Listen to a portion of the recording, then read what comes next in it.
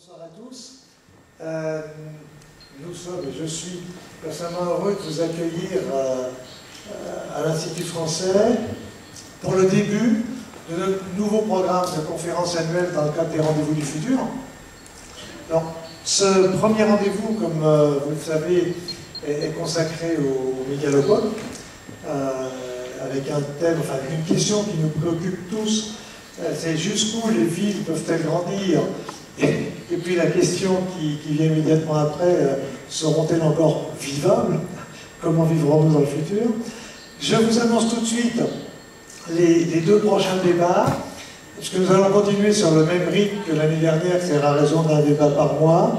Le prochain débat aura lieu le lundi, ce sera toujours le lundi, donc le lundi 14 novembre, et sera consacré au, volcan et à la sismologie.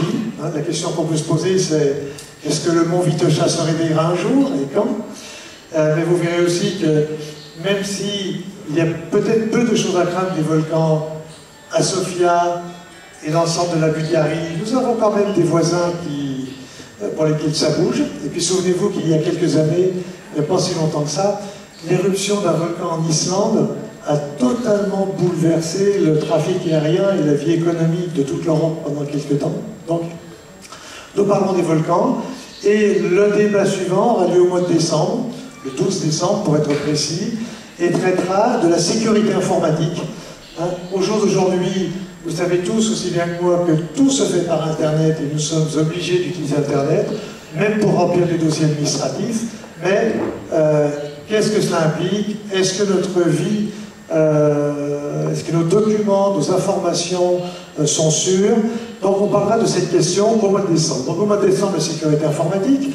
Au mois de novembre, les, volcans et dans quelle mesure les volcans peuvent bouleverser encore aujourd'hui notre activité économique et le climat. Et puis bien évidemment, aujourd'hui, nous allons parler des mégalopoles, euh, de la, la densité, de la taille des villes.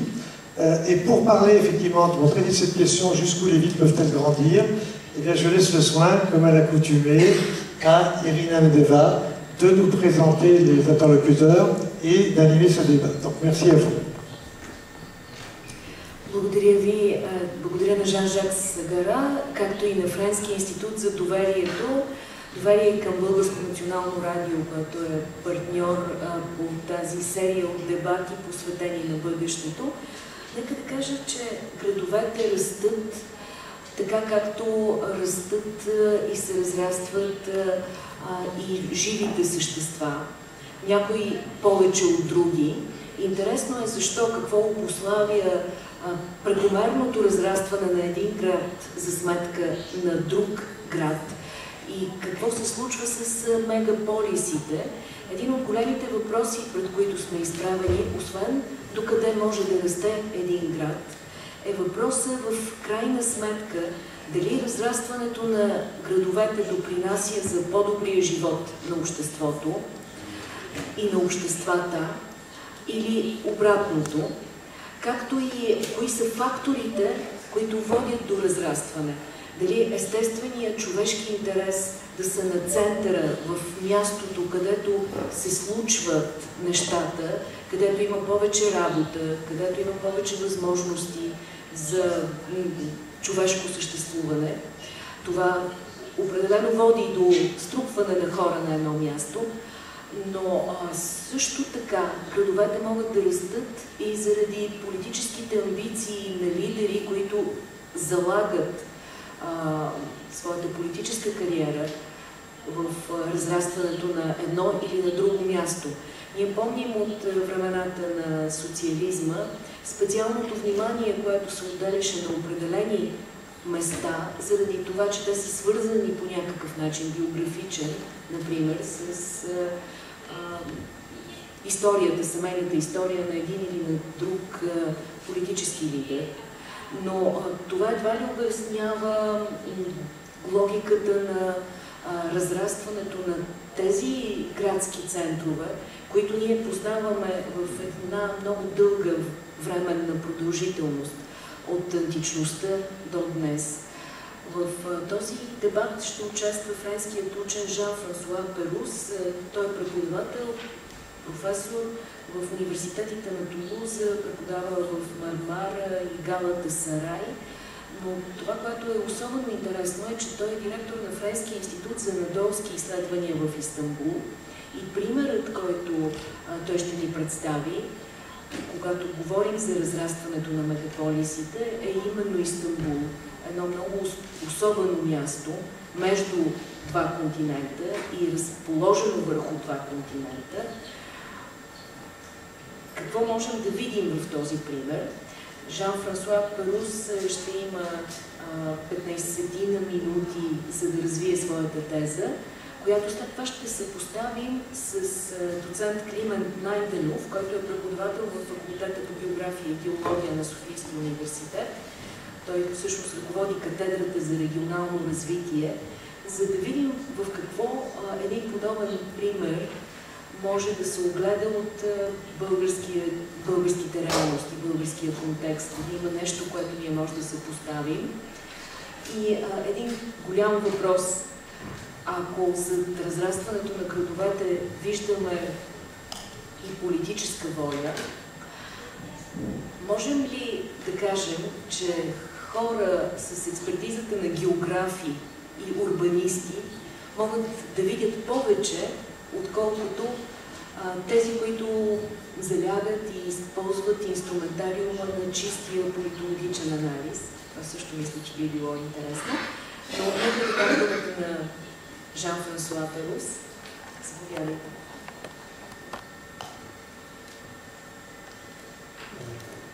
Merci Irina, bonsoir à tous.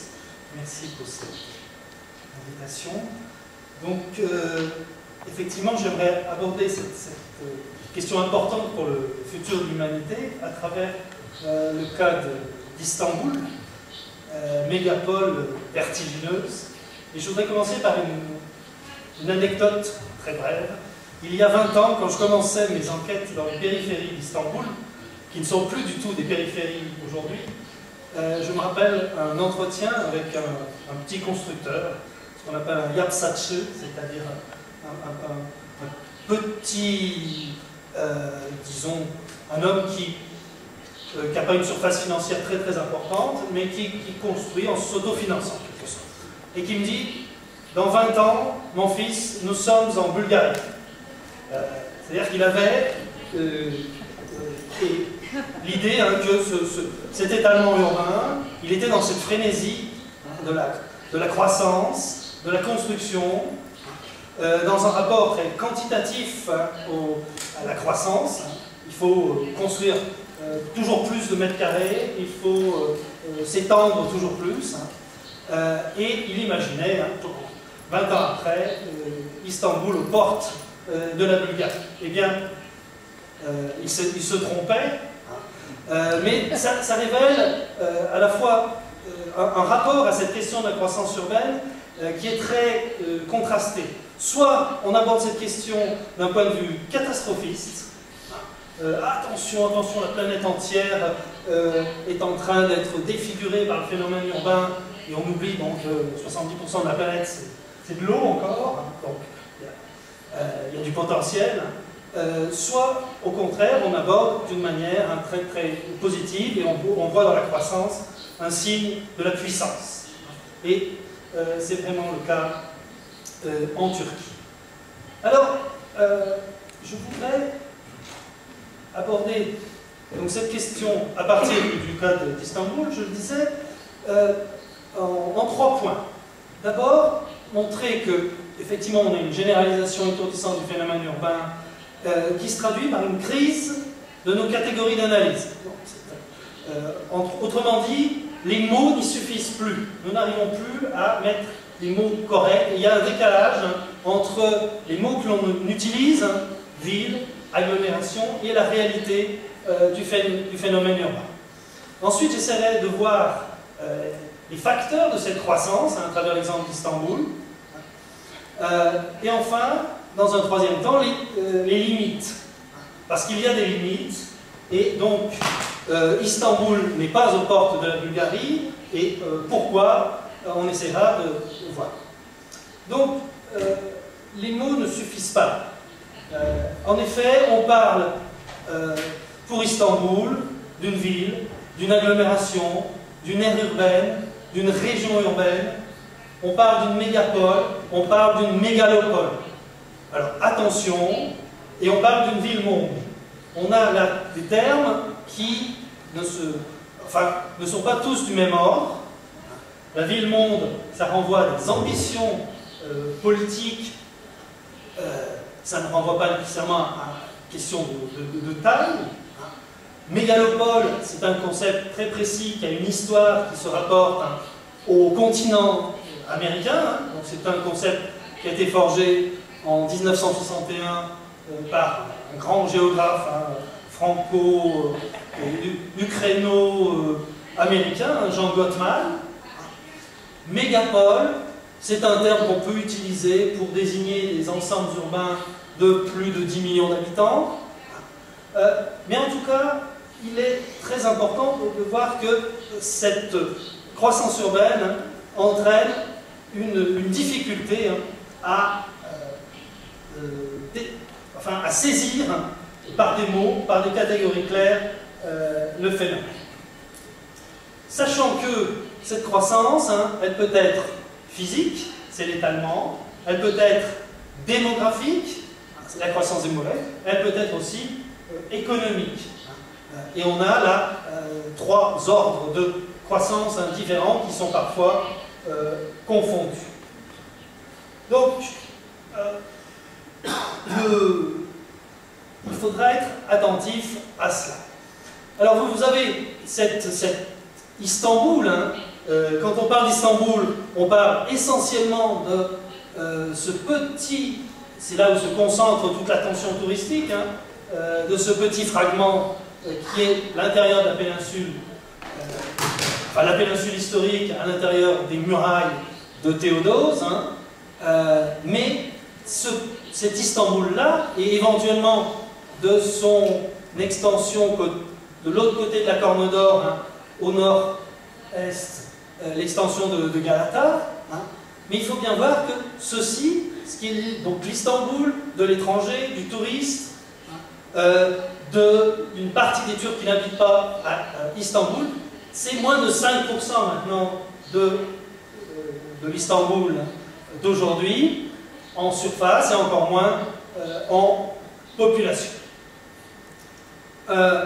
cet étalement, il est figuré hein, de multiples manières. Hein. Ici, on peut voir de l'époque hein, euh, de Théodose, euh, donc au 5e jusqu'à aujourd'hui, hein.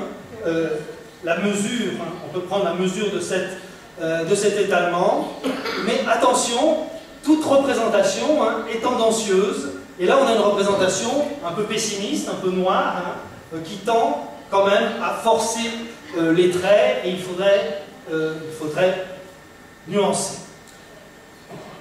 Grâce à Dieu, nous disposons maintenant euh, des images satellitales hein, qui permettent de mieux saisir la croissance des mégapoles, la croissance physique en tout cas. Hein.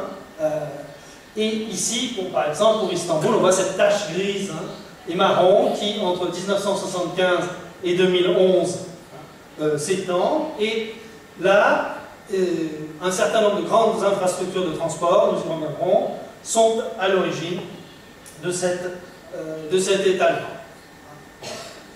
Voilà à présent la région urbaine d'Istanbul, hein. euh, et donc le petit Istanbul que le touriste connaît hein, est noyé dans un ensemble qui s'étend sur 180 km d'est en ouest, 40 km du nord au sud, et qui comprend donc le golfe d'Izmit, qui comprend et qui va court jusqu'à euh, jusqu'à Donc c'est cet ensemble, dorénavant, qu'il faut euh, assumer comme étant Istanbul. Un Istanbul eh euh, qui a été mis en place hein, ces 15 dernières années pratiquement. on peut dire que plus de 80% de la population d'Istanbul, à l'heure actuelle hein, vit dans un environnement urbain qui n'existait pas il y a euh, plus de 20 ans. Euh, ceci doit nous obliger euh, un petit peu à repenser hein, ce phénomène et à repenser même Istanbul en sortant des cadres trop étroits qui sont les nôtres quand on en parle. Alors, quels sont les, les facteurs de l'étalement euh, J'en vois un certain nombre qu'il faut rappeler. Premièrement, les grands projets. Les grands projets, que ce soit des grands projets d'infrastructure de transport, donc les trois ponts, et le troisième pont sur le Bosphore qui a été inauguré à la fin août 2016 euh, vient aggraver encore le phénomène, hein, euh, sont des exemples parfaits de grandes infrastructures de transport ayant contribué à recomposer, hein, euh, à modifier hein, radicalement la macroforme de euh, la mégapole.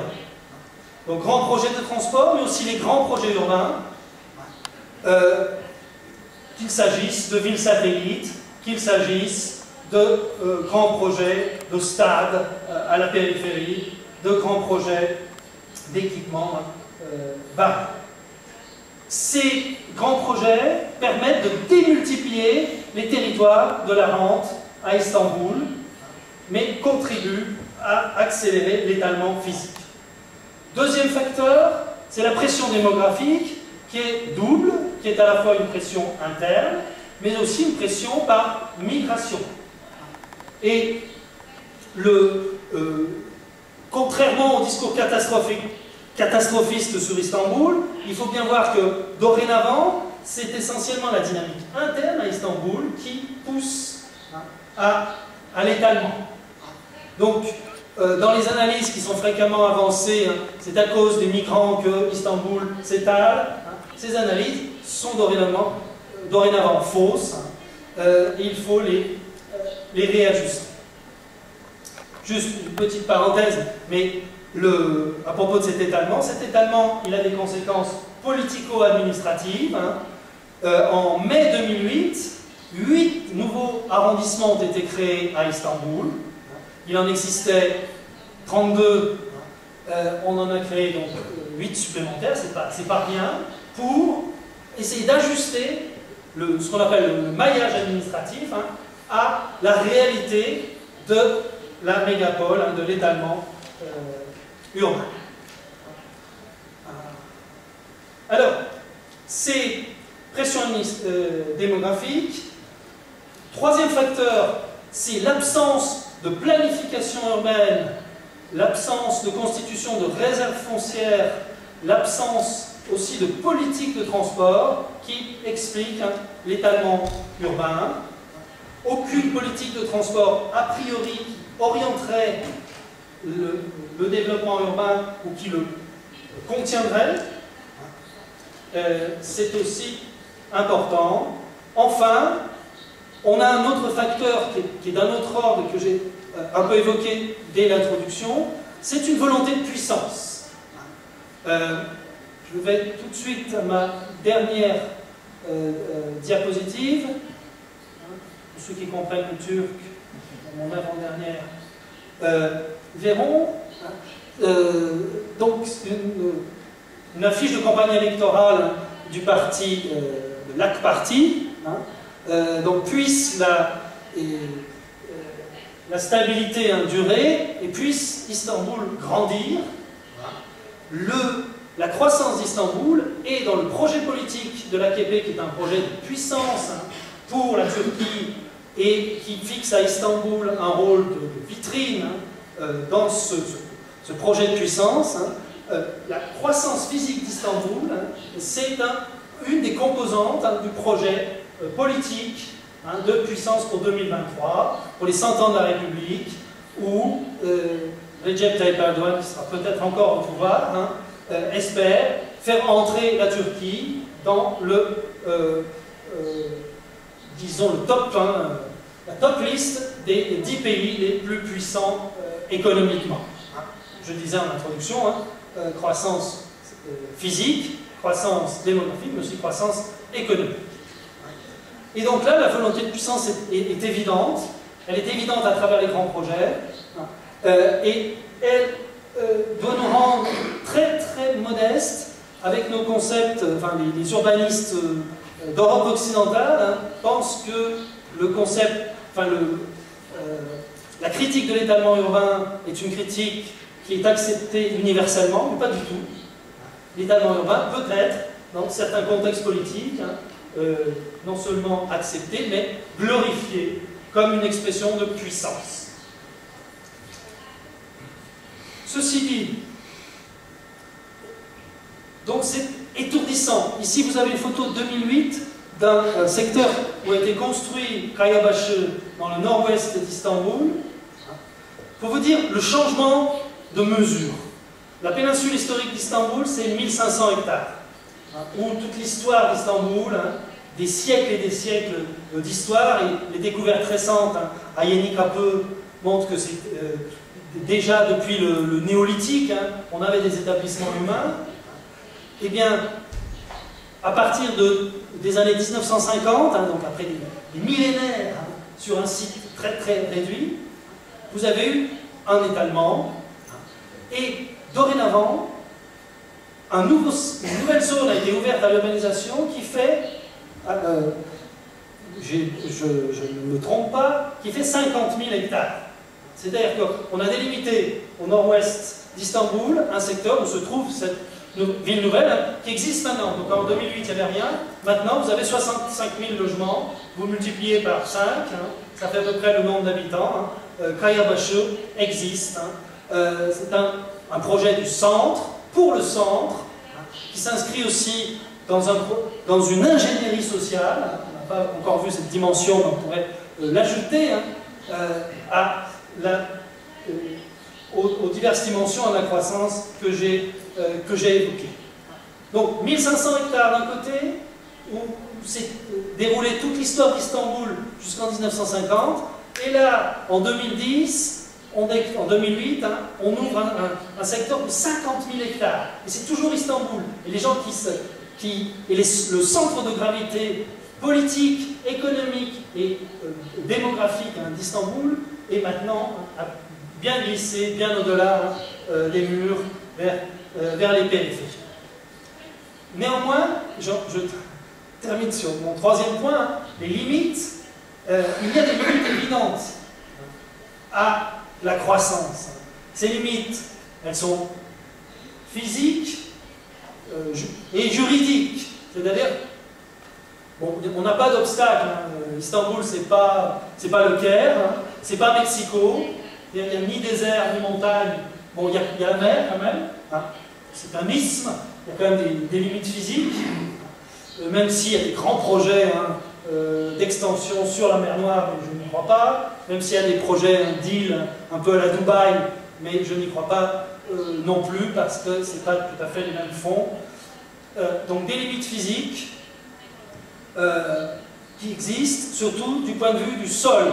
La Turquie est un pays qui avait la chance, c'est un héritage ottoman, d'avoir des ressources foncières publiques considérables et qui ont été dilapidés ces 15-20 dernières années dans l'étalement urbain. Euh, L'État a vendu, vendu, vendu, vendu le terrain ou les administrations centrales qui possédaient, et dans le cadre de partenariats privés-publics, hein, euh, s'est enrichi.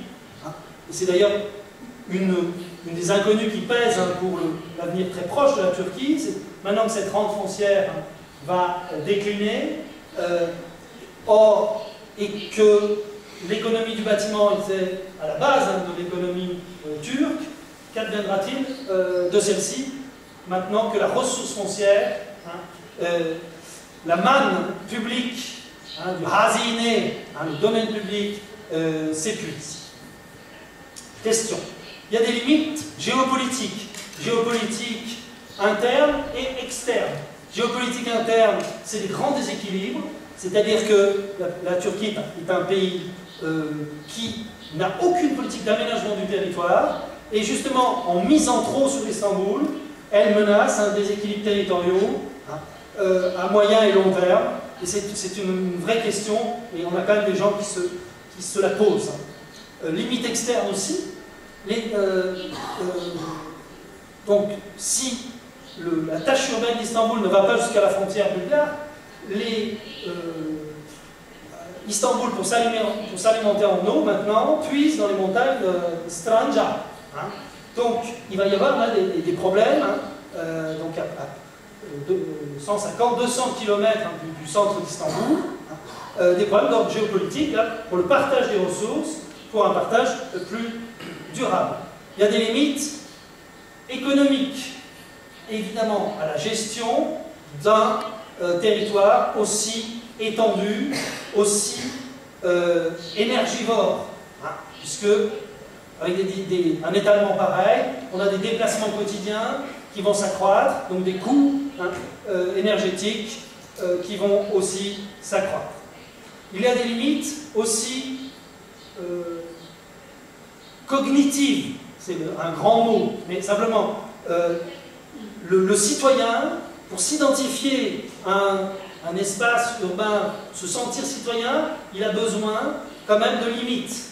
Et si ces limites hein, sont euh, diluées, son, euh, son attachement hein, à, un lieu, euh, sa citoyenneté locale peut être en, crise. Donc limite cognitive ou civilisationnelle ou politique, si l'on peut dire.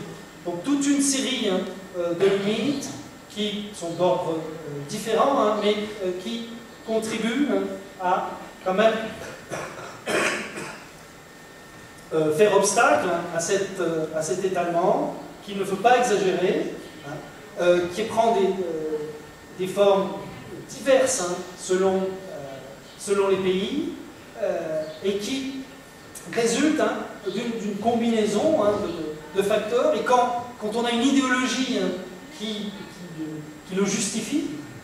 Et ici, c'est un drôle de mélange hein, entre une espèce de, volonté de puissance, un rayonnement international à travers une métropole, hein, euh, et euh, aussi une, un, rapport aux, ressources hein, qui ne voit pas, euh, qui ne s'inquiète pas de la question du renouvellement de ces ressources à moyen et long terme, eh bien, on a ce résultat qui, est inquiétant hein, pour les générations à venir, hein, euh, puisque le coût environnemental et le coût social de euh, cette croissance, hein, euh, le coût humain est, considérable. On ne parle pas seulement de santé publique, on pourrait parler des accidents de travail, parce qu'il faut aller vite, et on a eu encore très récemment de, gros accidents sur le chantier avec des morts du troisième aéroport qui, doit être le plus grand du monde, euh, au nord-ouest d'Istanbul, 150 millions de voyageurs qui sont attendus euh, annuellement. Euh, tout ça, il faut aller vite. Hein. Le, président est sans cesse à dire aux entreprises qui ont décroché les marchés allez plus vite, allez plus vite que le, terme, que la date qui figure dans le contrat. Hein. ça, ne se fait pas sans, sans conséquences hein, sur, les vies humaines. Voilà un peu vite, désolé, Мирина. Благодаря. Интересно е. Важно беше да чуем тази теза и тази картина, която е добре промислена, анализирана от човек като Жан-Франсуа Перус. Един от изводите – висока обществена цена, казва Жан-Франсуа Перус. Има разрастването на градовете, особено когато имаме предвид този пример на Истанбул. А, нека преди да отворим а, възможността за дискусия и вашите въпроси, а и уточненията, които според мен ще бъдат много, много интересни, а, да дам думата на доцент Климент Найденов, за да ни представи неговия поглед на географ и човек, който се занимава с регионално развитие. Дали можете да си смените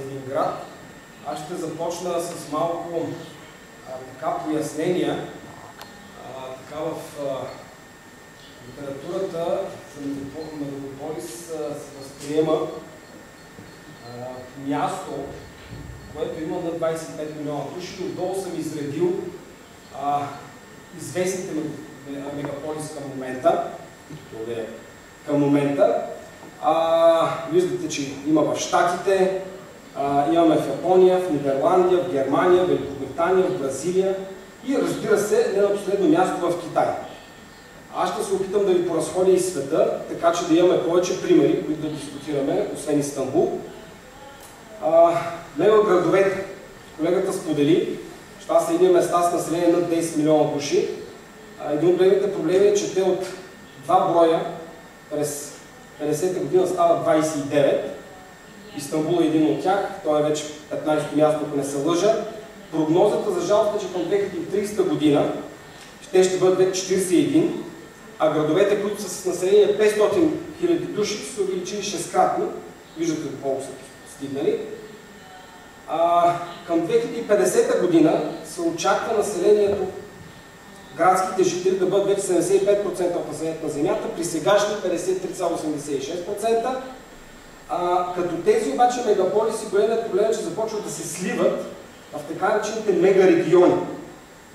И това са едни а, пространства, които приотяват над 100 милиона души. Това, което е дадено на картинката е най-големия регион към момента, мегарегион, Хонконг, Женшен, Гуанчжоу в Китай и се населява от 120 милиона души. Нас има ще бъде малко трудно гледна точка на България да разсъждаваме в тези проблеми, те са факт. А, има и други, които се зараждат в света или вече са се образували. Виждате в Япония, в ляво, Киото, Нагоя, Кобе, Осака, в дясно виждате Бразилия, регион между Сао Пауло и Рио де Жанейро. Долу виждате Индия, регион между Делхи и Бомбай. 40 най-големи мегарегиони в света заемат малка част от обитаемата зона на планетата, както спомена колегата, по-голяма част от вода. В тях живее по-малко от 18% от световното население, сочи един доклад, но те извършват 66% от цялата економическа дейност в света и съответно тях се пад 85% от технологичния и научен прогрес. В топ 25 градове на света е съсредоточено половината от световното, половината от световното богатство. Петте най-големи града в Индия и Китай концентрират 50% от състоянието на тези страни. Малко се страни на това. Ще продължават да растат по всяка вероятност градовете, в тях живеем по-устойчиво. Там имаме по-добри услуги, по-добри идеи, иновациите са там, имаме струпването, това е демографския фактор, на човешки творчески ресурси. Мегаполисите се очертават като центрове на економически, технически и глобален прогрес, както в своите страни, така и в световен мащаб. Това са фактите. Така, обаче аз ще засегна проблемите на тези мегаполиси. Един от тези големи проблеми е безработица. Техническия прогрес и засилята международна конкуренция води точно до това. Започваме да имаме едно социално напрежение в мегаполисите, започва да има хронична безработица. Появява се така нареченото социално неравенство.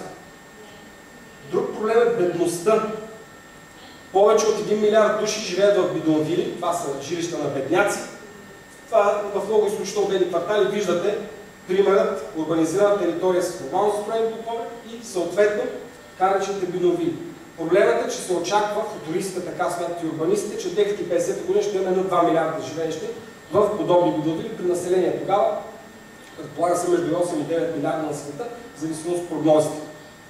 Тоест имаме град, голям град, в случая Истанбул, който е град на контраст до голяма, до голяма степен. Имаме най-големите богатства имаме и най-голямата бедност. Друг проблем в мегаполисите е различия стандарта на живот. Виждате отново бидонвили, заедно с добре построени а, железобетонни а, сгради. Също голям проблем в мегаполисите е управлението на техните отделни обособени части. Какво имаме предвид? В дясно виждате а, така наречен трудно достъпни райони или гетата.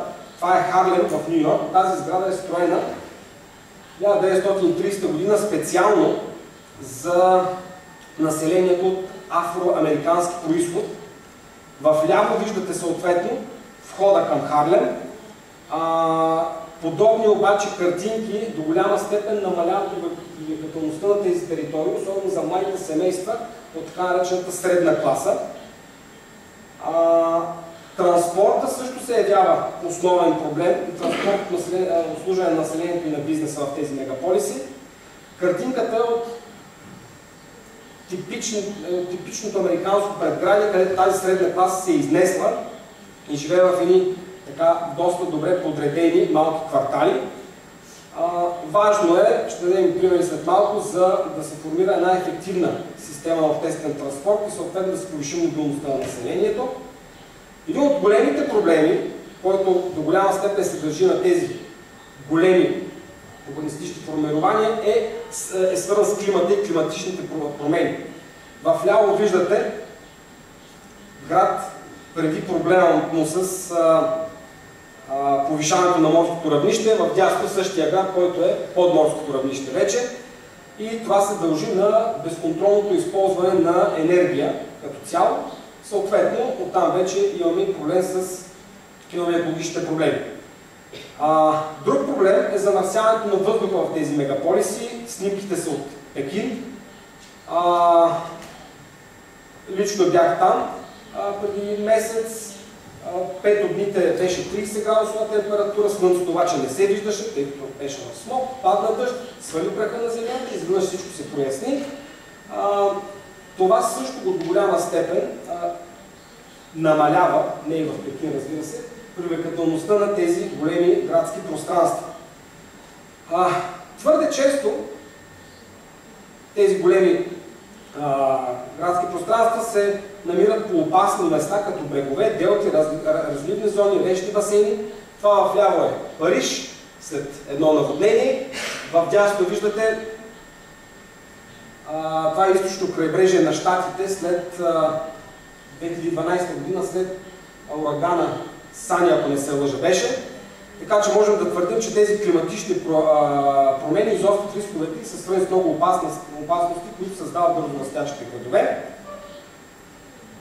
Преди малко беше споменат демографският натиск.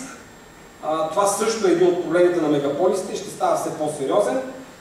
имаме нарастващо население, което е равно на по-голям брой домакинства. Повече нужда училища ще, ще имат мегаполисите. Съответно ще трябва да има нови квартали и по-гъсто застояване. Това отново е пример от Китай, от Пекин. Така изглеждат кварталите на а, този голям град. От друга страна обаче мегаполисите са економически машини. Около 70% от световния брутен, вътрешен продукт се пада на тях. 60% от този продукт се създава в 600-те най-продуктивни градове, където живее една пета от световното население. В такива големи градски агломерации мегаполиси се, създава 55% от БВП на страните с ниски доходи, 73% на БВП от страните с средни доходи и цели 85% от БВП на държавите с високи доходи. Но за сметка на какво? Преди малко чухме термина енергия. Това е за сметка на 60-80% от потреблението на енергия в световен мащаб, 75% от потреблението на природни ресурси и светът, дълът на световните емисии на въглерод, 75% от него се падат от на тези мегаполиси.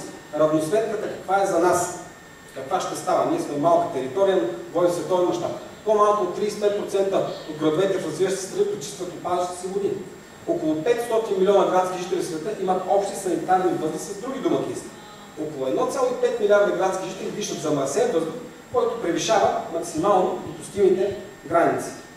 Доколко може да продължи тази тенденция на урбанизация пред лицето на нашите енергийни климатични ограничения в века, в който живеем?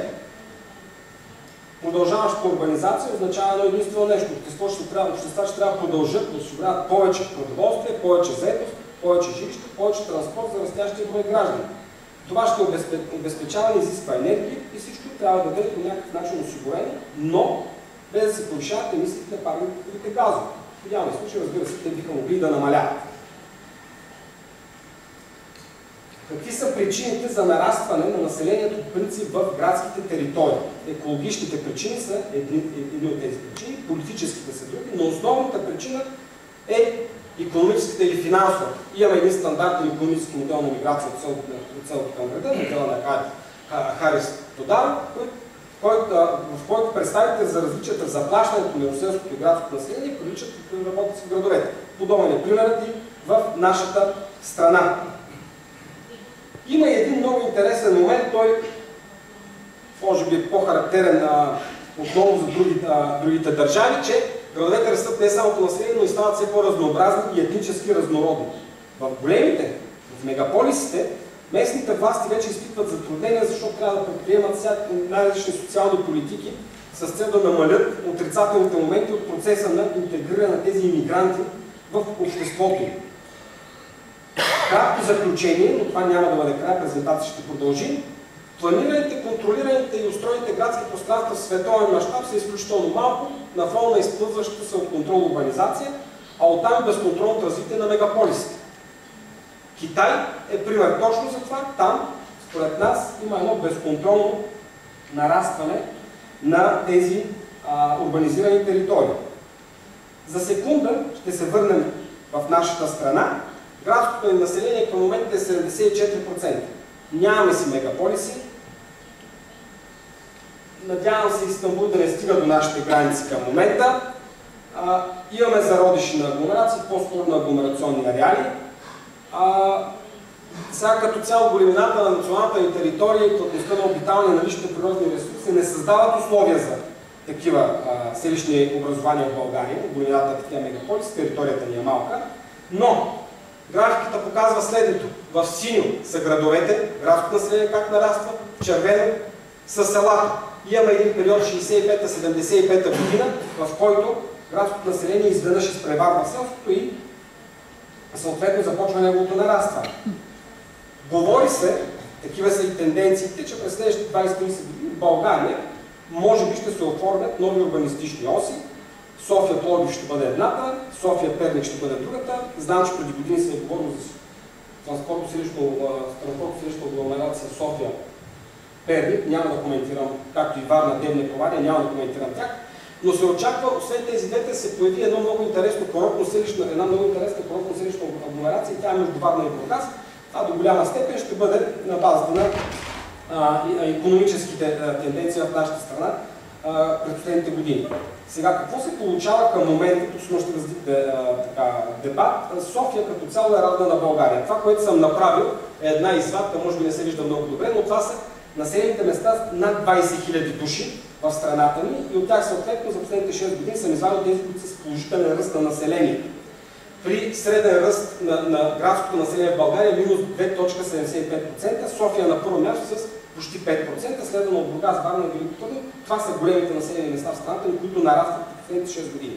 Като трябва да, и мисля, вие мисля, че ще се съгласите, София е обречена да нараства поради, а, поради механичния приръст и поради факта, че тя е така, в най-добро економическо а, състояние. Всички големи градове, първите 7 или 10 града, взети заедно, са измерими с София, като брой на населението, економическия принос, развитието на науката, висшето образование, здравеопазването, културата и изкуството. Което обаче е признак за движение към един моноцентризъм. Или ако ще бъдем а, държава от Европейския съюз, която се, която се стреми към регионална политика, би трябвало да бъдем и държава, която има региони, които са също така а, добре а, развити и а, да балансират економическия тигър български, София, така да го наричаме. А, взел съм от а, Националната конценция за пространство развитие, просто иллюстративно тази карта. А, балансьорите на София, съответно в а, източна България се явяват, макар и доста слаби, Варна и Бургас, Пловдив, Стара Загора в Южна България и съответно в Северна България, Русия и Плевен. А в Западна България няма балансьор на, на, на, на София, въпреки сега ще се правят опити в Видин да бъдат а, така инвестирани малко повече средства. А, като цяло, от урбанистична гледна точка, споделихме, че населението отива в големите градове, защото големия град дава възможност за професионална реализация и по-висок стандарт на живот. Тези економически, социално-економически различия обаче водят демографски различия. Без да се стабилизира економическата база, този демографски проблем ще се задълбочи. Една трета от населението ни живее в три града. София, Пловдив и Варна, където обаче се създава 50% от БВП на страната.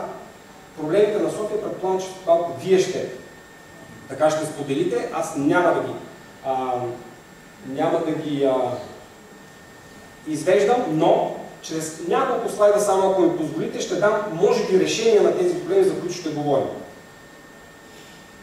Таймс Square в Манхатън има ден за, на забранено движение за коли. Виждате какво се случва, хората излизат, има някакъв а, социум създаден. Венеция, София вярно, че не е Венеция, макар че има някакви идеи.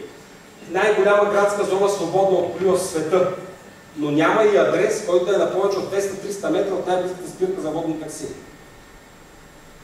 Куритиба, град в Южна Бразилия. От 50 000 души за, 60, за, за 50 години става 1,9 милиона. Тук имаме прилагане на така концепция за бързи автобусни линии с собствени ленти. Виждате спирките как изглеждат и съответно в ляво по какъв начин са създадени тези улици, по протежението на които нараства този град. Богота, Колумбия, 8 милиона души, с целият мегаполис е 10 милиона. Когато се прави квартал, първо се изграждат пешеходните велосипедни алеи, след което се правят вече шосетата за моторизиран трафик. И тук е развита тази концепция за бързи автобусни линии. Интересното тук е затваряне на улиците за автомобили през почивните дни. Значи, всяка неделя от 7 до 2 имаме 120 км затворени улици в този град и хората, както виждат, виждате, по някакъв начин се забавляват. Концепцията за тези бързи автобусни линии е доразвита в много големи градове. Това е снимка от Истанбул. Виждате Джакарта, Гватемала, Гванчо, Истанбул, Мексико Сити, Брисбейн, Лос Анджелис. Нью Йорк въвежда така наречените си първи летни улици, още през 2008. Виждате по какъв начин хората отново а, се забавляват и а, така, пак ви казвам, има така наречената вече градска среда, а не автомобили, като това се възприема от много други американски градове. Земетресение. Сан Франциско 89-та година. Автострадата е затворена на Кардеро и съответно виждате един така наречен дружелюбен булевар с дървета, тролей и чудесни условия за колездене и така нататък. Малко съм повял в интерес на истината от идеите на урбаниста Ян Гел, който беше наскоро в София и една негова книга и идеите въобще, които той успил да постигне в Копенхаген, съответно, шестия в света най-висок град по най-високо качество на живот, който е дом на една много успешна обществена програма за каране на велосипеди. 50% от жителите на Копенхаген карат колело всеки ден, 37% от пътуването до работното място се осъществява с велосипед. Благодаря ви съответно за вниманието. Благодаря ви. Нека да ви дам възможност сега да питате или да направите кратък коментар. Има микрофон, който ще стигне до вас. Ако имате готови вече въпроси или просто любопитство, сега е момента. Ако не, в хода на разговора просто дайте знак. Аз имам един въпрос към Жан-Франсуа Перус, който е свързан. Той е много прост въпрос. И въпросът е, защо Истанбул, а не Анкара?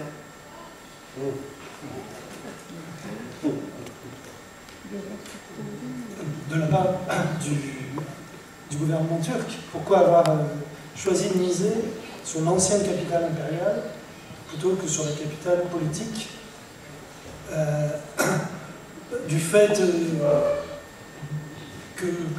qu'Istanbul est une ville plus ottomane, donc il y avait dans la stratégie actuelle hein, de d'instrumentalisation du passé ottoman, Istanbul offre beaucoup plus de possibilités au pouvoir actuel qu'Ankara, euh, par euh, la, grandeur du, site, par la puissance de la situation. Hein, on mise entre deux mains sur un, passage, hein, c'est euh, chaque, année 55 000 navires étrangers hein, qui passent par, par le Bosphore. Donc il y a une, situation hein, qui, est assez propice hein, à, à, parler au monde, euh, beaucoup plus propice que la, la situation d'Ankara, même si Ankara, euh, j'ai fait ma thèse sur Ankara, et ensuite je me suis tourné vers, Istanbul. Euh, Ankara comptait, comptait même pas 20 000 habitants dans les années 1920, et maintenant on compte 4 millions. Et Ankara, pour ceux qui, qui, connaissent, ils vont vite réaliser de quoi je veux parler, c'est l'exemple vraiment typique de l'étalement urbain et, de la ville conçue pour l'automobile. Euh, c'est hallucinant.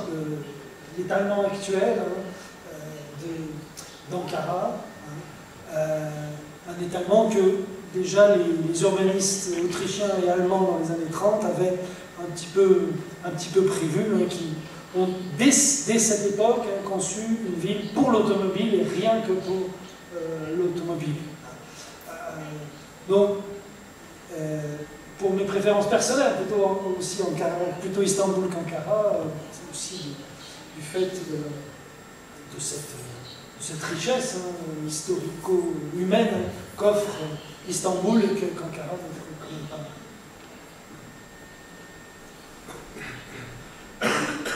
Да, заповядайте.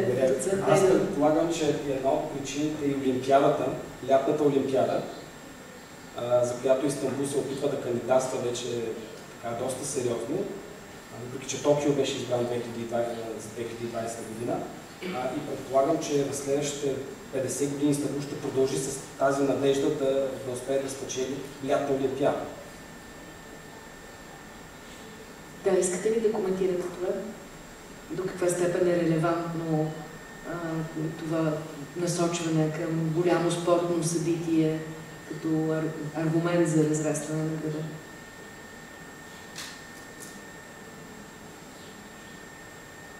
Alors, euh, ce, ce, projet olympique pour Istanbul, en fait, il est, il est très ancien, euh, puisque dès 1992, l'État turc fait adopter une loi qui fixe cet objectif et qui met en place hein, des institutions et des moyens pour euh, atteindre cet objectif. Donc on a eu cinq tentatives, hein, cinq dépôts de candidature, euh, et chacune de ces candidatures s'est soldée hein, par, un, échec. Mais ça s'inscrit dans le grand projet de puissance euh, d'Istanbul, dans ce projet de faire d'Istanbul une ville monde, en dotant en, organisant des événements à portée internationale qui attirent l'attention de l'opinion publique mondiale euh, des investisseurs aussi sur, Istanbul. Euh, donc c'est à ce niveau-là qu'il faut bien resituer l'ambition olympique, hein, c'est vraiment cette, volonté de faire cette ville, mondiale. Euh, et ça permet aussi de justifier des investissements exceptionnels pour des équipements, hein, pour des infrastructures, et ça rejoint mon premier point hein, euh, sur les facteurs de l'étalement hein, des grands projets. Et je, ne citerai que un projet de, euh, que le projet du grand stade olympique. C'est un gâchis, c'est un stade qui a, été construit d'ailleurs par un groupe français, qui a été achevé en 2002, puisque les autorités à Istanbul savaient que pour que la candidature d'Istanbul soit crédible, il fallait qu'il y ait ce stade olympique. Et c'est un stade, donc ça fait, euh, ça fait maintenant 15, 14, 15 ans, qui n'a quasiment jamais été utilisé. On, essaie de louer aux grandes équipes de football qui n'en veulent pas. Hein. Euh, et c'est enfin en termes de, euh, gestion de, l'argent public, hein, c'est un gouffre. Hein. Sans parler du fait que ce stade dans la périphérie ouest, a initié toute une série de, transformations urbaines, d'éradication de, quartiers entiers, euh, et donc a été vraiment un, un, accélérateur de la transformation urbaine et de l'étalement urbain pour Istanbul. Да ви дам възможност да питате, да участвате, ако Ако не, аз продължавам да имам въпроси. И въпросът ми е, добре, вие сега казахте, господин Перус, че едно правителство, защо правителството е решило Истанбул, така префразирахте моя въпрос, а аз се питам, откъде или даже от кога идва тази воля за разпространение на един град и за превръщането му в мегаполис. Сещам се нещо, което в един съвсем не мегаполисен, а много уютен град като Кавала ме порази. В центъра на Кавала има табелка, която сочи към Константинопол.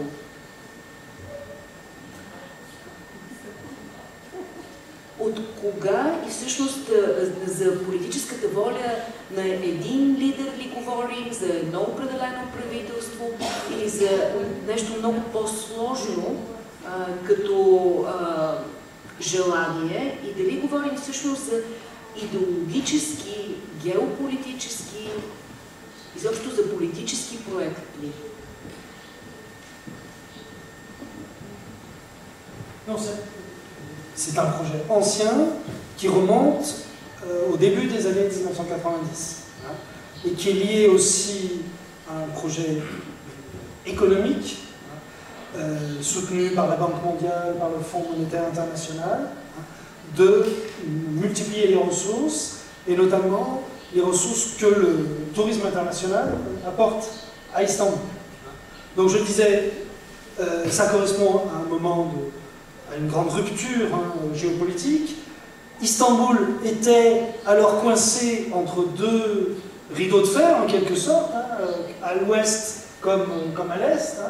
Et ces rideaux se sont levés, et Istanbul a retrouvé toute la force de sa situation, s'est retrouvé à une croisée euh, des, circulations euh, internationales, et c'est là que s'est échafaudé ce projet pour porter le projet de développement de la Turquie de euh, faire d'Istanbul une, ville monde. Donc c'est datable, hein, c'est lié à une ambition économique, et à cette, ambition économique, elle a trouvé ensuite diverses idéologies hein, euh, justificatrices, jusqu'à la dernière, hein, avec euh, l'arrivée de, Mais les choses du parti de la justice et du développement. Le développement, c'est un concept clé euh, dans la rhétorique politique euh, turque, hein, mais le développement n'est envisagé que dans sa dimension euh, physique et économique, hein, pas dans sa dimension sociale ou dans sa dimension environnementale. Donc le Parti de la justice et du développement, à partir de 2002, 2003, hein, a repris un vieux projet qu'il a en quelque sorte enrobé autrement, idéologiquement, avec des références à la puissance ottomane, avec euh, des références au monde turc, au monde musulman, euh, pour multiplier encore les échelles de rayonnement d'Istanbul. Но на практика отговора на моя въпрос, който вие давате, да, има си начална дата. А, началото на 21 век, около 2000-та година, всъщност изкристализира тази идея за превръщане на Истанбул в световен град. Ако ви разбирам правилно. Да. Добре. А, ние сме виждали как могат да умират градове.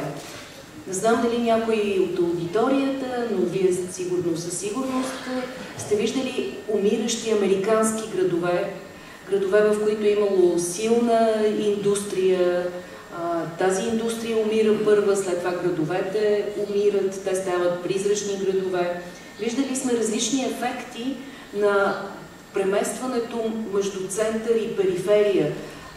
Централни части, като тези в Сан-Франциско, например, в които всъщност центъра се е превърнал в, в гето, защото всички от средната класа и по-богатите са избягали в периферията. Умират ли мегаполисите? Можем ли да предположим а, смърт на мегаполиси, мегарегиони, тези гигантски констелации градски? Да очакваме ли в едно, може би, по-далечно бъдеще огромни мегаполисни призрачни градове? И към двамата е въпроса. Ами, аз лично се съмнявам, че не знам за какво бъдеще точно говорим, но следващите 50 години това няма да се случи. А, поради факта, че както изтъкнах, економическата мощ на света е съсредоточена в тези мегаполиси. Отделно от това, мегаполисите са съставени от много агломерации, те съответно от големи градове. И лично аз се съмнявам, че към момента поне и следващите 50 години би могло да се получи подобно нещо. Иначе, за жалост, ние в нашата страна ще скоро време ще бъдем свидетели на призрачните села първо, те започнаха вече, след това най-вероятно ще има и призрачни градове, което вече не е една добра тенденция, но за мегаполисите към момента поне, това не мисля, че може да се случи. Господин Барус.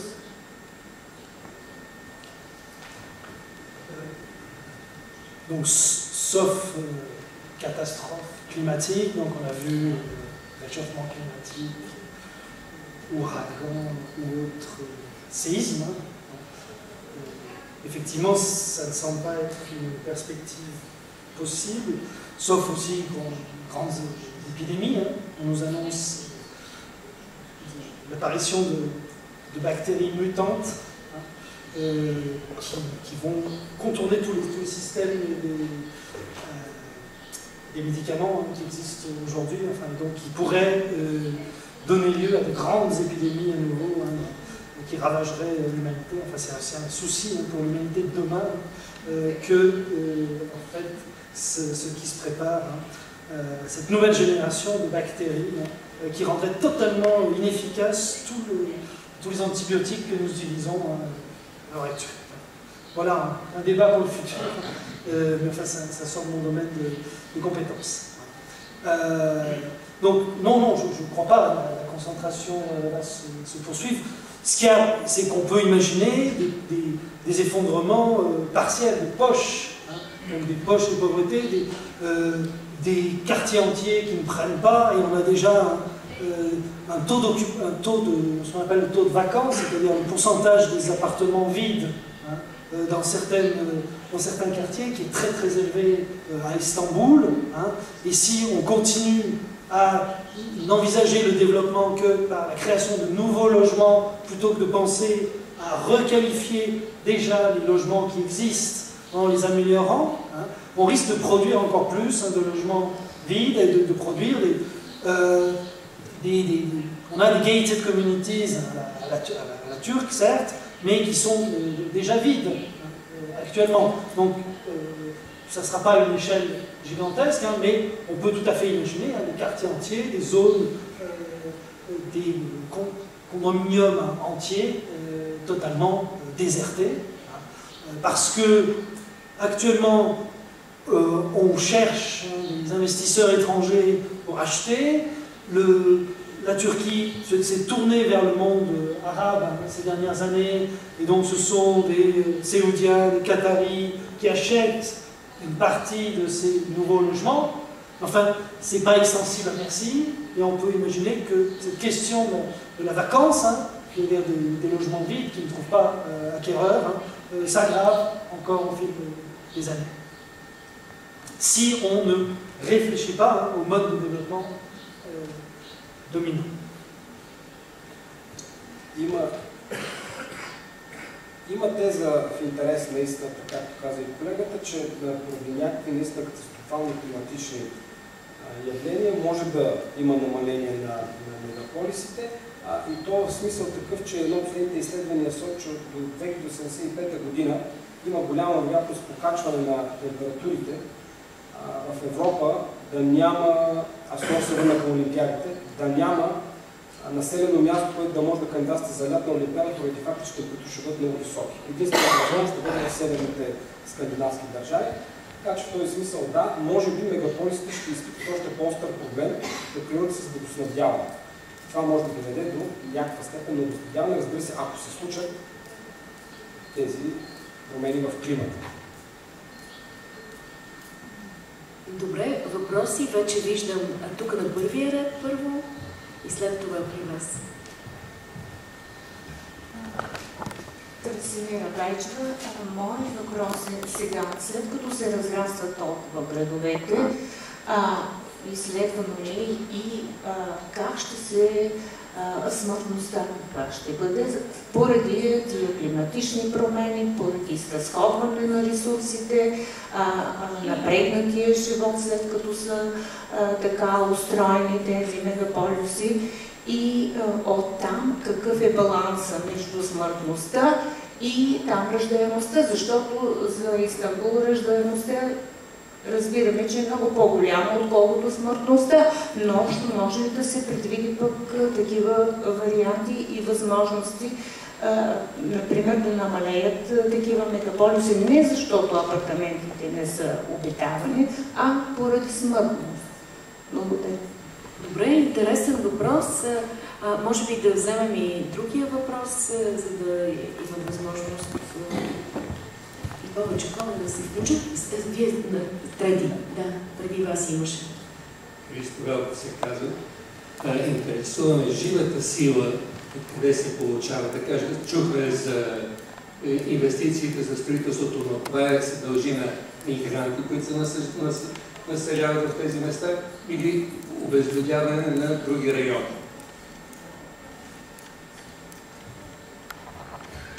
Добре, благодаря ви и тук на да, четвъртия Сега ще задам въпрос, обаче ако има време, след това искам отношение да взема. Сега, тук нали, се поставя и се говори за града, обаче града, ако така го гледаме, ние вървим към едно самоубийство. Аз съм абсолютно убеден и мога за да се докаже. Но а, града, разбира се, трябва да се види в рамките на селищната. А пък селищната мрежа в територията на страната и територията на регионите, като европейската общност, да речем, Европейския съюз. Иначе ние не можем да излезем. Сега само аз ще задам въпроса, но и ще кажа още нещо. Нещата са изключително комплексни за развитие. И за това ние вървим по тази инерция. Защото да хванеш едно нещо, не можеш да го изкараш от контекста. Трябва с другото, това образование, обслужването, жилищата, не може. Нещата излизат там, където най-малко го очакваш. Аз, ние сме правили, аз съм работил в суд, не се представих, кримпитуга на времето, там сме правили опити селищата от четвърти и пети функционален тип да ги... Защото страната по-равномерно имаше, доказа се. И после ще кажа какво, защо не можа да стане. Но сега въпросът ми е, може ли града, тези големият не толкова големия като София, да речем, или дори една Варна и Пловдив, могат ли там да се създаде оптимална жизнена среда. Сега няма веднага да казвам оптимална жизнена среда, да сме здрави, щастливи, да няма езика на омразата, много други работи, но и нещо друго да ни възпитава, защото тази среда ни възпитава. Примерно рециклаж, да няма хвърляне на продукти и така нататък. Сега, въпросът ми е, пак повтарям, може ли града, там където сме тръгнали, където ни води инерцията, това не е план, в никакъв случай ние сме се опитали, поне сме доказали за София колко. 350 хиляди е максимум, който може да се появи, защото има ние сме в една културника, на база технологиите, как се развиват така нататък. И втория въпрос, но няма да го задавам за сега, защото има две неща, които можем да изтеглим от контекста. Колкото и да е комплексно. Но, както и да е за сега, това ми беше въпрос. Добре, има ли още въпроси? Да, заповядайте. Искам да попитам от чисто географска гледна точка. Самият град Истанбул е разположен на един много опасен дълбочинен разлом. Истанбул винаги се е характеризирал с от време на време циклични земетресения и всичко това не плашили хората, които живеят там и най-вече тези, които по една или друга причина стимулират това бързо население, заселване на града. Тоест, природата е определяща, значи географския фактор винаги трябва да бъде водещ. Добре, това също е интересно. Още един въпрос имаше точно за вас. Да. Благодаря, Илин Кинсън.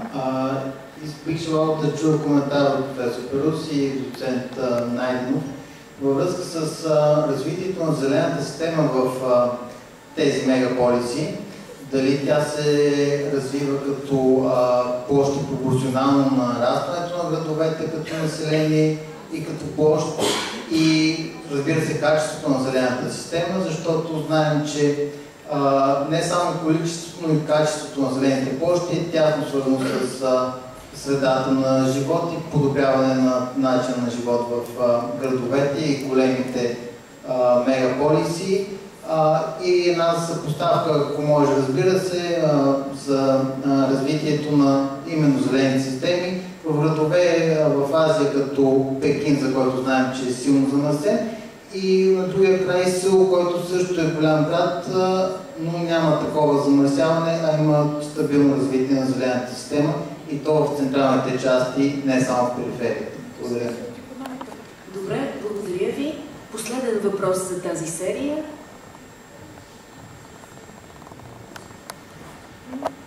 Моят въпрос е следния. Познавате ли примери за държавна политика на децентрализация, тъй като беше даден пример, че а, София, примерно, е център, пример за моноцентрализация. Има ли държави или региони, в които наблюдаваме пък обратната, обратната политика? Тоест да се изкарат институциите или пък големите висши училища или пък индустрията извън едно населено място. Добре, благодаря ви. Ами, нека малко да разбъркаме реда, по който дойдоха въпросите, за да стане по-логично и вие имате въпрос. Не, нямам въпрос, искам да направя едно пояснение. 2002 година за кмет на когато се роди Читален, а бумба на Истанбул. Така, едно става... пояснение, само изчакайте микрофона. Не, не, да. 2002 година за кмет на Истанбул бива избран Ердоган тогава идва Кветниза. И, и знаете ли с какъв лозунг за борба срещу корупцията? Той е обявил, че се бори срещу корупцията, подвел някакви строителни предприемачи там в някаква среща, довел журналисти, направил нали, така, голяма, как да голяма сцена направил. И така е започнало, така е започнало мегаломанското развитие на Истанбул. Добре, точният човек, който може да внесе уточнения по този въпрос е Жан-Франсуа Перус, но нека, нека да тръгнем по реда на въпросите, по-скоро по техния смисъл. Въпросът за това откъде идва живата сила а, за тези строителни проекти и като строители, и като а, жилищообитатели след това. А, това равносилно ли е на обезлюдяване на други райони в Турция? Господин Парус, това е а, един въпрос, който вие може набързо да изясните.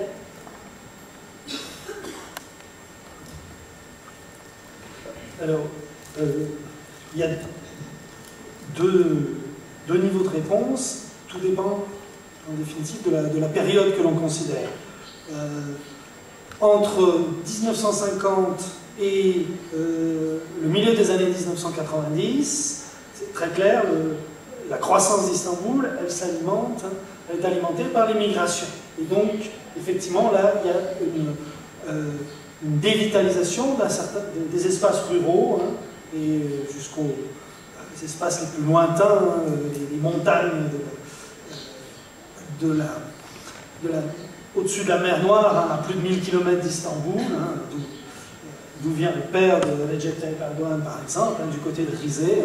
Hein, euh, des villages entiers hein, qui, émigrent vers, vers Istanbul, mais d'un autre côté, euh, la richesse qui est accumulée à Istanbul par ces immigrants, elle est euh, aussi réinvestie dans les villages d'origine. Hein. Donc, euh, c'est un rapport compliqué hein, entre le lieu d'origine. C'est pas seulement de la disons, une désertification. Il y a aussi une forme, en retour, de fertilisation. Les, ressources nécessaires, euh, elles sont... Non, pardon, deuxième période. Après euh, le milieu des années 90, euh, la croissance d'Istanbul se fait plus en dynamique interne et elle, donc, elle est portée par la natalité, et elle est portée aussi par les politiques de transformation urbaine. On, déconcentre, on, on déconcentre les quartiers euh, centraux, hein, dédensifie, et on installe la population, c'est le principe de base de la transformation urbaine, euh, dans des quartiers plus, plus éloignés. Hein. Et l'exemple que je vous montrais tout à l'heure de Kayamashi, hein, c'est un exemple euh, archétypal. Hein. Et la zone de 50 000 hectares dont j'ai parlé pour accueillir le nouvel Istanbul, c'est notamment pour accueillir les populations qui seront déplacées du centre ou du péricentre euh, vers ses périphériques. Donc là, c'est une dynamique interne à la métropole, simplement de recomposition. les ressources, les ressources naturelles hein, qui sont convoquées, eh bien, là, il y a un vrai problème hein, de renouvellement de celles-ci. Je le disais tout à l'heure, pour aller pour les ressources en eau, on est obligé maintenant d'aller jusqu'à la frontière bulgare. Hein. Euh, la, grande, la régie des eaux euh, ISKI hein, d'Istanbul euh, a aménagé des, amenées d'eau hein, impressionnantes. et là, il y a un vrai problème qui, se, qui se pose de non-renouvellement des ressources nécessaires. J'en profite quand même pour répondre à la première question. А, да, parce que... да това, е, това е мястото за първия въпрос. А, дали се правят изследвания върху смъртността в мегаполисите? Смъртността в мегаполисите? Ah oui, oui, ça c'est... Enfin, en tout cas, pour, pour Istanbul, c'est assez bien connu. Euh, ce qu'on peut dire, hein, c'est que euh, Istanbul, plus que le reste de la Turquie, hein, est entré dans la transition démographique et qu'il y a un problème de vieillissement qui se euh, profile à 10-15 ans. Hein. donc il y a une, fenêtre d'opportunité, comme disent les démographes ou les économistes, pour le marché du travail, juste pendant 10-15 ans, hein. et après un alignement, et donc un problème de vieillissement, de mortalité qui va se poser. Alors il y a une nouvelle donne maintenant, c'est la population syrienne qui participent. C'est 300 000 Syriens quand même qui sont arrivés euh, à Istanbul hein, depuis 2012. Euh, Et vu la situation en Syrie, la perspective de retour hein, euh, est maigre. Et là, c'est un nouveau ressort hein, démographique, inattendu, imprévisible, qui change un petit peu la donne. Sinon, oui, oui, on a on a une évolution, hein, un vieillissement qui, se fait beaucoup plus vite, hein, comme on disait. Et là aussi, ça va à l'encontre hein, des, scénarios un peu catastrophistes sur euh, la croissance démographique de ces, de ces.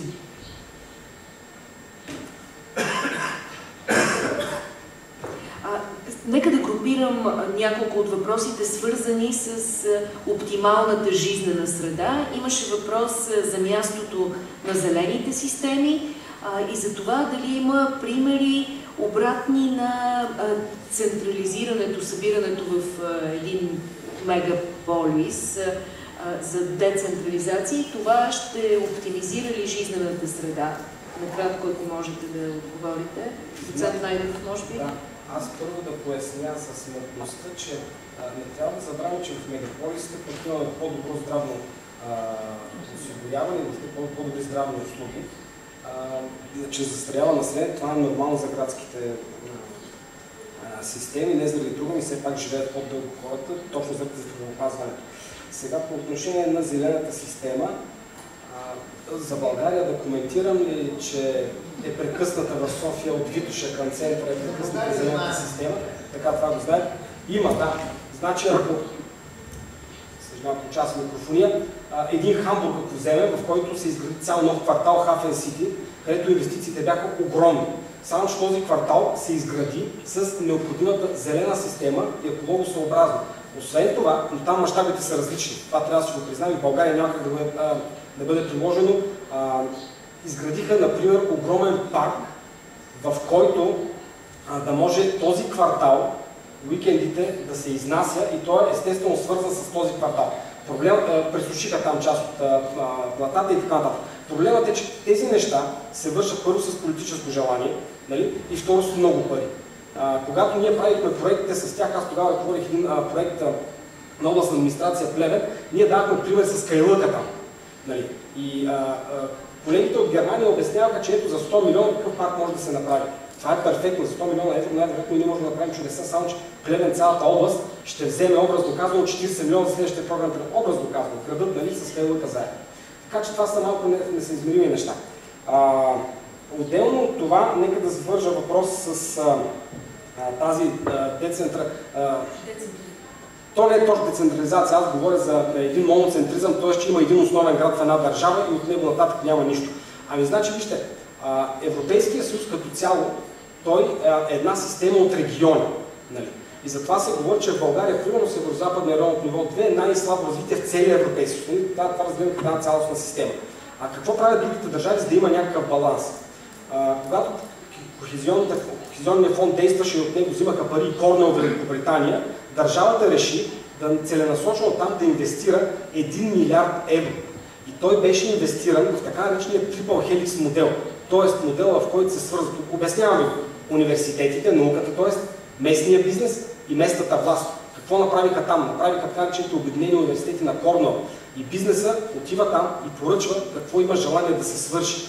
Университета му го произвежда, не да произвежда безработни а, нали, а, бъдещи на специалисти. Съответно местната власт е дала нужната сграда и така нататък. Това е един работещ модел, който се е заложен в някои от интегрираните планове за градско възстановяване и развитие в България, да го заложите от самото Това са правилните модели. В този смисъл обяснявам, че София в момента е като един остров и около него, сега всички сте излизали извън София, нещата не се случват по този начин. От тук, ако желаете, мога да взема дума за въпроса, за, свързан с дали може да се създаде добра жизнена среда в градовете. Оптимална жизнена среда. Оптимална жизнена среда в мегаполиса. Най-вероятно е възможно. Просто пояснявам, че тук в България няма такъв пример. Световен пример ли искате да ви дам? Има такива жизнени среди, те са създадени. Само, че там, дори да вземе един Европейски съюз, има един термин, който се нарича култура на хората. Съжалявам, че трябва да тръгна в тази насока, но това са факти. Когато има култура на хората, тук имаше коментари, тогава нещата могат да се случат в правилната насока. Нали? Малките общества, в която всички си, си помагат, жизнена среда в италианските градове има подобни жизнени среди, най-вероятно за които вие говорите. Това са така наречените очи, които следят вместо полицията. Това са малките магазинчета, по малките улички, където всички хора се познават и успяват да опазят своето имущество. Нали, това го има в Италия, например, давам пример конкретно. А, добре, нека, тъй като имаме малко време, може би максимум 5 минути, зелените системи, да се върна на този въпрос, който е много съществен, дали те попадат в така политическо-строителните планове за разрастване на мегаполиса Истанбул. Аз изпълням един огромен политически скандал, свързан с едно малко паркче, парк Гези в центъра на Истанбул, който може би може да свържем и с наблюденията на един от хората тук. Той ни каза, че за Ердоган е бил важен лозунга борба срещу корупцията, но спрямо парк Гези, където трябваше да се реализират, може би вече е започнал строителен проект, си спомняме, че протестиращите младежи, протестиращите хора казваха, тук има корупция, върнете ни парка, искаме да запазим това пространство. Може би това да коментирате накратко, господин Перус.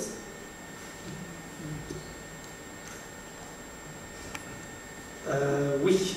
Alors, d'abord, pour euh, Recep Tayyip Erdogan, il a été maire d'Istanbul un peu plus tôt, hein, en 1994 hein, et 1998. Hein. Donc, en fait, son, euh, arrivée au pouvoir dans Istanbul, qui est un, État dans l'État, coïncide avec justement cette décennie de montée en puissance des ambitions d'Istanbul et il les a bien, très bien comprises fait, euh, il les a fait siennes. Alors, euh, effectivement, Recep Tayyip Erdogan, quand il fait le bilan de, ses quatre années, été, son mandat a été interrompu, hein,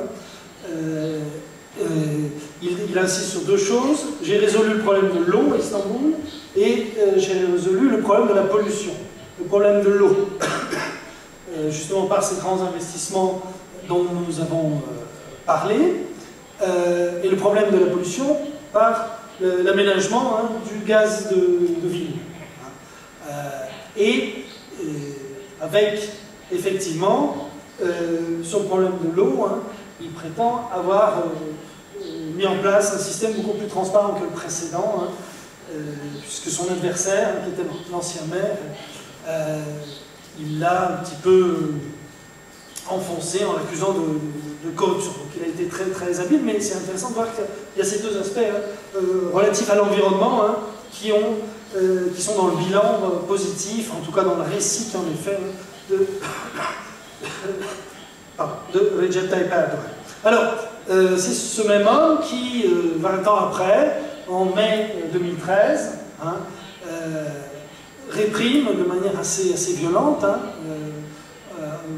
tout près de Taksim, ça jouxte la place Taksim, le, le, soulèvement on ne sait pas bien comment le qualifier, hein, l'occupation populaire hein, du parc de, de. Hein.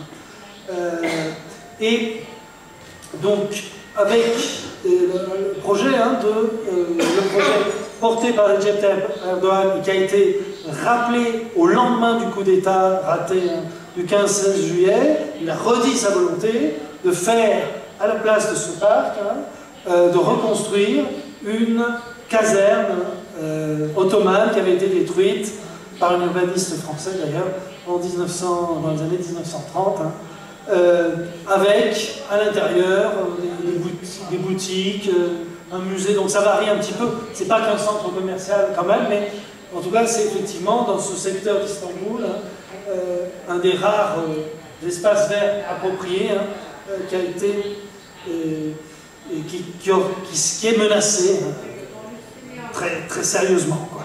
Mais on est dans une conception pour euh, euh, ce parti, hein, euh, la partie de l'environnement qui est là encore quantitative, parce que, bon, le Jet Erdogan qui s'est senti. C'est très étonnant, le maire d'Istanbul hein, était totalement absent du débat. Hein.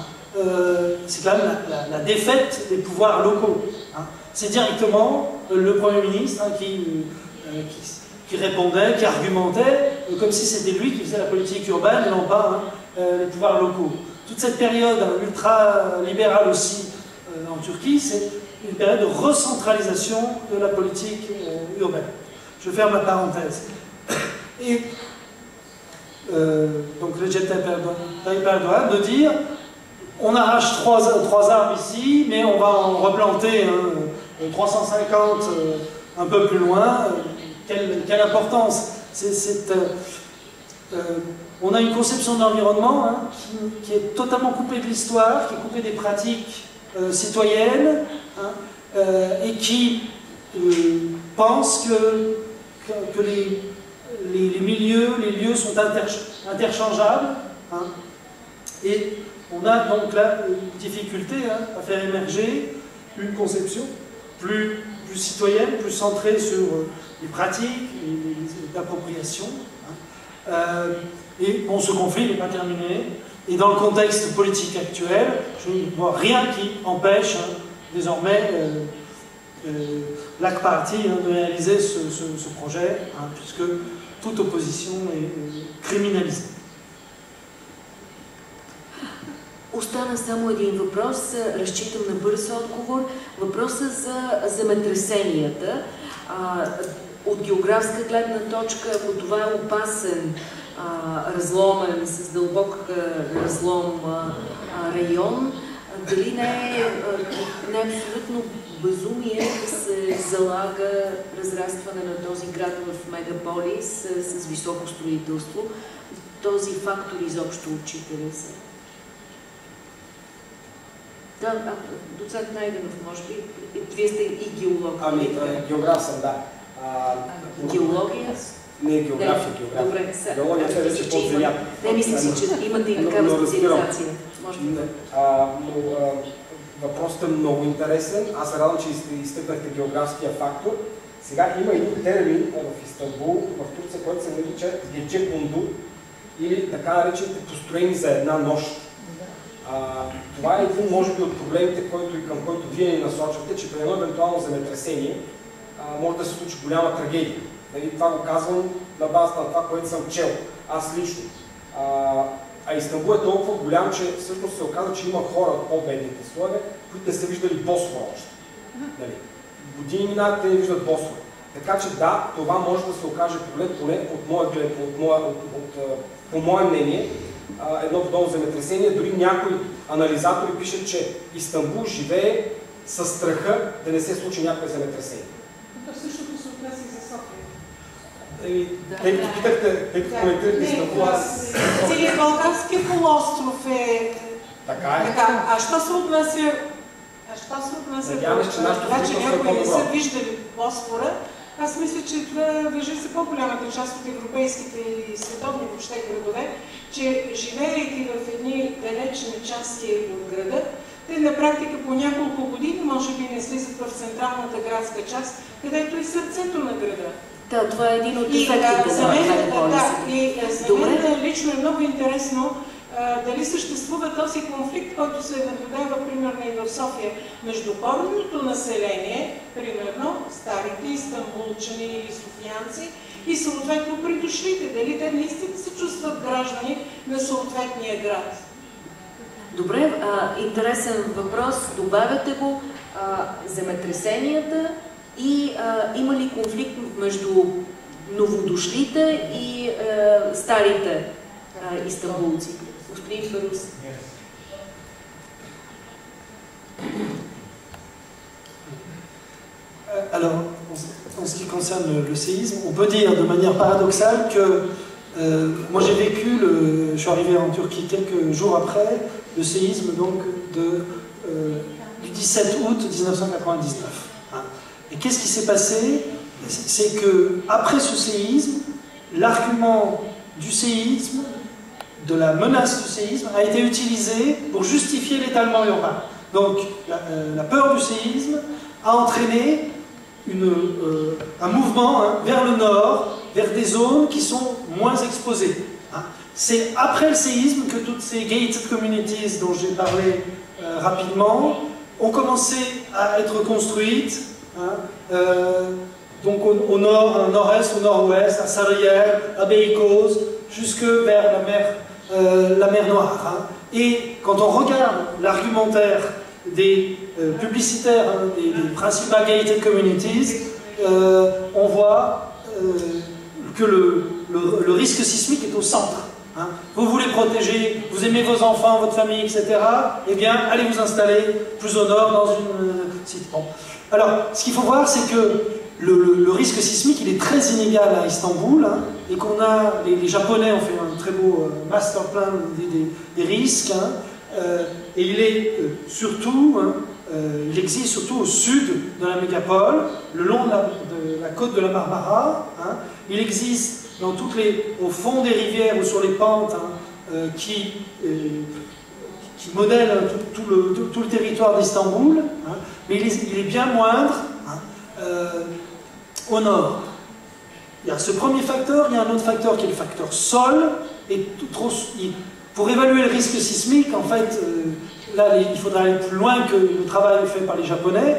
Il faudrait travailler vraiment à l'échelle de chaque parcelle, en voyant aussi le sol.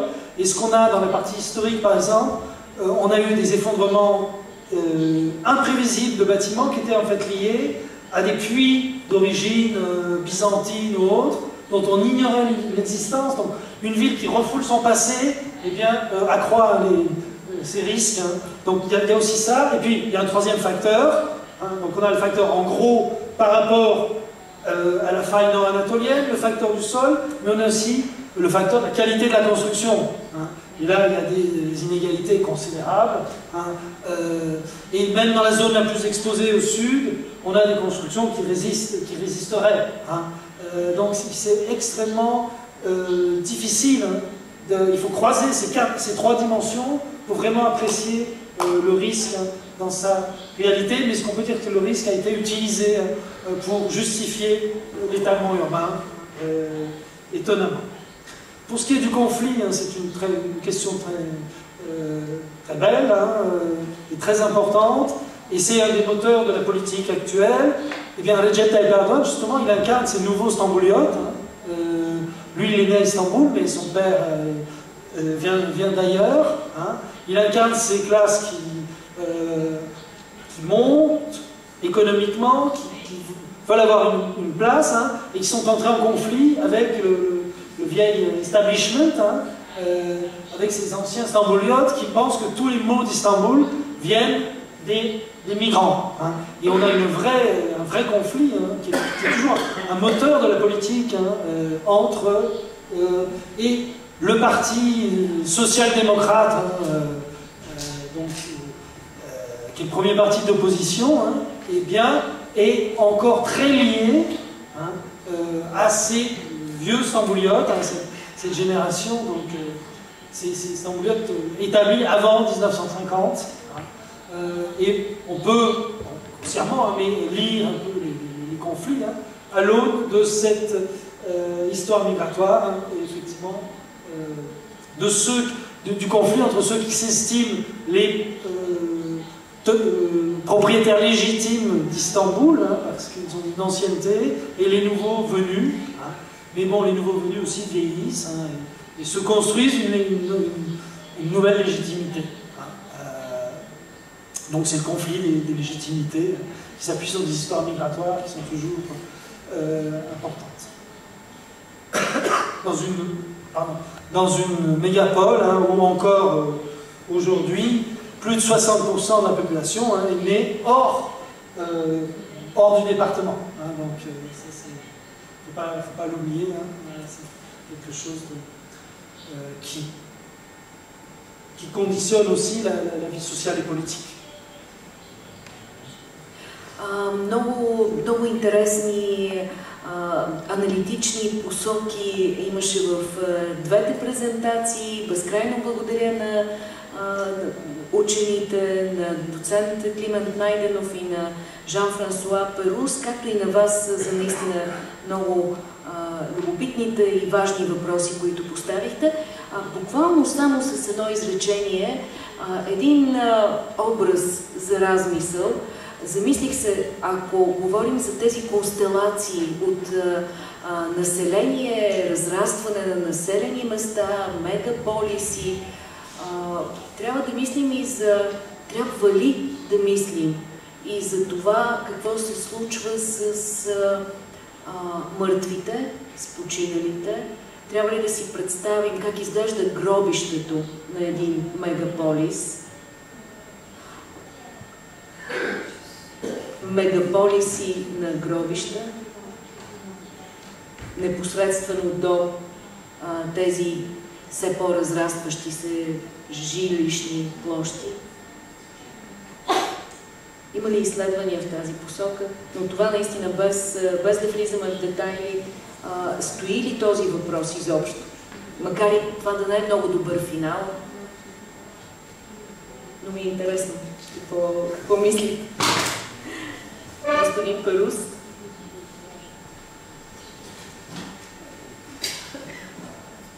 C'est une très belle, très belle question. Euh, effectivement, euh, l'étalement urbain, la croissance des, euh, mégapoles, eh bien, a, eu pour conséquence hein, la nécessité de, à la fois de déplacer des cimetières, donc des, grandes violences hein, qui ont été faites pour justement construire des, grands, des grands ouvrages d'art, des grands ponts. donc on a la mémoire hein, de, de, la ville a été violentée, plus la, mémoire minoritaire que l'autre mémoire, mais bon, c'est une, autre question. Et on a conçu euh, des grands cimetières périphériques, et donc le rapport des euh, mégapolitains à leur mort a changé. C'était un rapport de proximité, on pouvait, euh, dans, dans la vie quotidienne, aller voir ses morts, maintenant c'est terminé, il faut prendre une navette pour aller à 35 km dans ces immenses cimetières qui ont été aménagés, pour ceux qui connaissent, à Kilios, hein, euh, tout près de la mer, de la mer Noire, hein, euh, pour la, rive euh, européenne, hein, à Beykoz pour, l'autre rive. donc c'est une très très belle question. Donc on a à la fois violation, déplacement et bouleversement du rapport quotidien à ces morts avec l'allongement des distances hein, entre le lieu d'inhumation et le lieu de, la vie quotidienne. Mais c'est fascinant hein, maintenant la façon dont c'est géré. Euh, il y a une direction à la mairie d'Istanbul euh, qui, euh, dans, le jour même hein, de, la mort, on envoie, la famille reçoit un ordre avec l'adresse l'endroit où sera inhumé. Alors il y a aussi ce qui est très intéressant, c'est qu'il y a des, familles qui préfèrent, et là ça, signe le rapport au, lieu d'origine, aller faire enterrer euh, dans le village d'origine plutôt que euh, dans un cimetière anonyme à la périphérie des périphéries. Donc tout ça, ça euh, c'est très riche comme question. Merci. Monsieur? Доцент Найденов, вие искате ли за това да кажете нещо? Аз съм съгласен с колегата, че в големите мегаполиси наистина се създават точно такива периферни гробища или хората съответно наистина отиват до салата да подадат своите близки. Проблемът всъщност е друг, че това е част от мъртвите ни роднини са част от нашата идентичност, а точно този голям град започва да я унищожава. Също така, както унищожава и нашето наследство, реално погледнато. А, така че, за жалост, малко минорно тръгваме да завършваме разговора, но това са фактите по отношение на този урбанизационен процес, който ни следва към момента. Има общо взето едно обезличаване на града, който ние познаваме в сегашния момент. Добре, благодаря ви много. Благодаря ви е, още веднъж е, и за участието от аудиторията.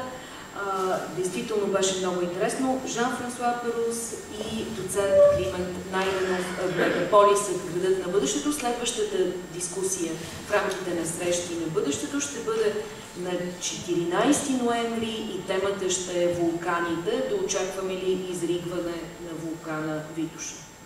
Благодаря ви.